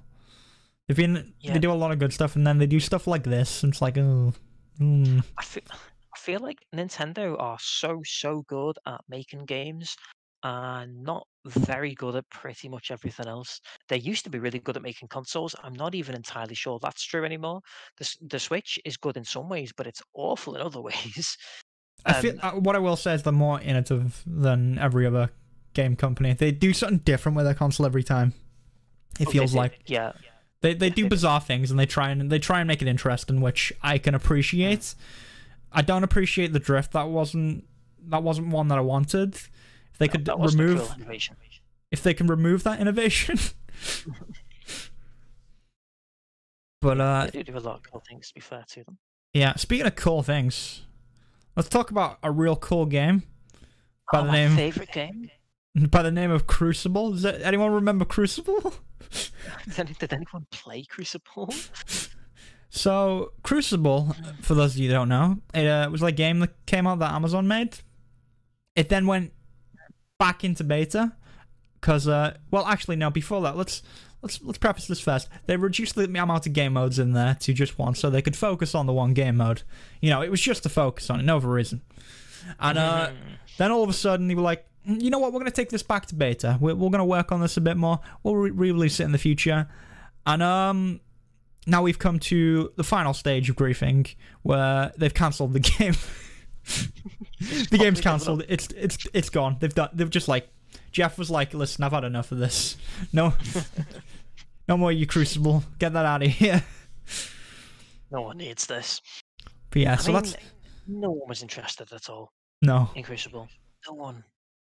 I mean, if they did actually come back out and do something really cool with it after taking it back into beta, who knows? Maybe I would have been interested. Uh, but It's too much of a saturated market, though. Yeah, I mean, they could have completely changed the game up. They could have, but they just gave up on it. They're just like, nah, too much for me. this poor game. I think. I think. I believe over the course of the podcast, uh, we've seen the every stage of this, like the rise and fall. I'm sure We it have. came because it came out in, in like it came out 20th of May. Apparently, I'm sure. I'm sure we were on the podcast at that point. We- we were. I remember Um, talking about it reducing itself to one game mode. Uh, yeah, yeah, I, I, I, I do ex- specifically remember talking about it unreleasing because that was just so funny. Mm. But uh, yeah, it's been a weird year for Crucible. Um, Ziff has a uh, interesting theory about this, which I, I think he's probably right. Um, so he said once the New World uh, beta came out and ev- and Amazon saw how happy everyone was with that and how hyped people were for that game, they probably just thought, is it worth carrying on with Crucible? Because there is zero hype for Crucible and loads of hype for New World. So maybe they're just taking those devs and putting them on New World so that they can get New World better polished before it comes out. Mm, Yeah, they could. They could be. I think. I think New World again is going to do really well. I think that everyone was really hyped for that. I the problem with Crucible was it came out of nowhere with no buzz. No Mm. one was talking about Crucible, and then it was like, oh, this game's. Should we try this game? People tried it for like a few days. Was like, okay, this feels like a very soulless, soulless uh, shooter, third person shooter. Sure, we'll uh, we'll not play that. I don't. I don't know. I guess it it honestly just makes sense at this point because no one was playing it anyway. It released to no fanfare. They had to unrelease it, and then and then they were like, "What do we even do with this game?" I imagine they were just sitting around for a couple of months looking at it, being like, "Do we make it into a battle royale? Um, crafting mechanics, maybe? Should we make it a Hmm. survival game?" does make you wonder what they were doing for those few months. I think they were they were probably just like, "What do we do with it?" Yeah, I bet you they. You're probably right. They were probably sat at the drawing board for like three months, just going. And then eventually, someone just like, "I've got nothing, bid it." just take the whole drawing board, just throw it out the window. Because the problem is, like, while they were doing that, more games have came out, and if we recall, Hyperscape also came out as well, and that was And Hyperscape didn't do very well, and we've had them being like, "Oh, we're gonna make some big changes to Hyperscape." So I mean, who knows what's gonna happen with Hyperscape? Hyperscape's in a super similar situation. I honestly Mm. get the two games mixed up quite often. Um, they, they are they they're both so soulless, and it's so funny how their story has been so similar. They're just there's there's just no effort put into these games. They just it's just a quick cash grab, and I think they're finding that it's a far more crowded market than they thought, and you've got to pull people away from like Fortnite and Overwatch and all, all games which are fully entrenched in people's minds, and it's not as easy as these guys these guys seem to think it is. They seem to think that they can just throw together a cheap, crappy game and people will flood to it, which I know does work in some markets with games, but Yeah, if you throw an MMO, like people are fo- foaming at the mouth for a new MMO. Been playing WoW for the last different, isn't it? the last 15 years. They're like, save me, please. That market is desperate for, for a new game to overhaul the entire genre. That is a totally different situation. We're not quite to that point with shooters yet. I think people are pretty happy with, with where they are with shooters, and no one feels like a new game is necessary. You'd really Mm. have to pull something uh, really incredible out of the bag, really different. I think you can't just pull do the same thing again. No one wants that.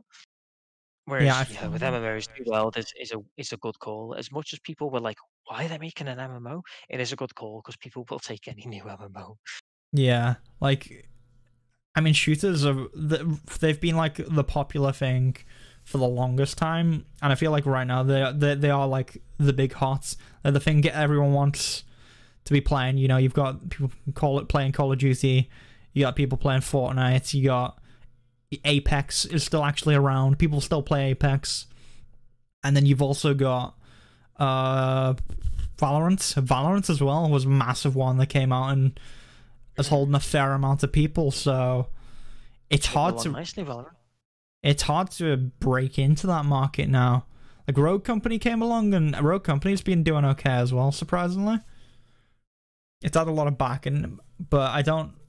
Again, I don't think you can get into that. You'd have to do something big, or have you'd have to pay a lot of streamers, a lot of influencers to influence that game, influence people into buying your game, as as they say.